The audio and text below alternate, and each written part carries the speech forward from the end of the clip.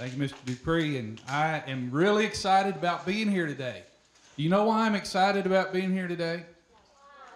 Because right here in Kingsland, Arkansas, in the Kingsland School, you are being recognized for being one of the best schools in not just Cleveland County, not just in South Arkansas or the state of Arkansas, but the entire United States.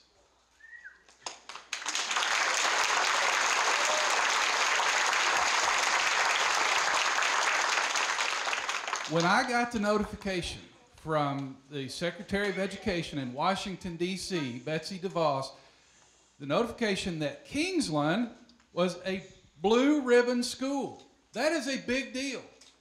There are only 300. Do you know how many schools there are in the United States?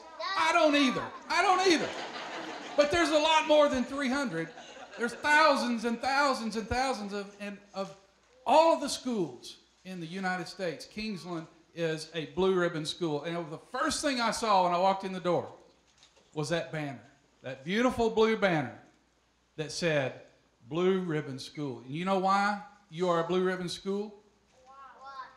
Look in the mirror every day and you'll see why. every day you look in the mirror and you see, I am part of this blue ribbon school. Teachers, where are you? Every day you look in the mirror and you can see why you are a blue ribbon school.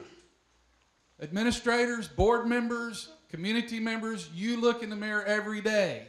Parents, grandparents, you can look in the mirror every day and you can say, that's why we are a blue ribbon school. And I want to congratulate you for that hard work because right here in a small town in Arkansas, you are showing the rest of the nation how to be a great school. Congratulations.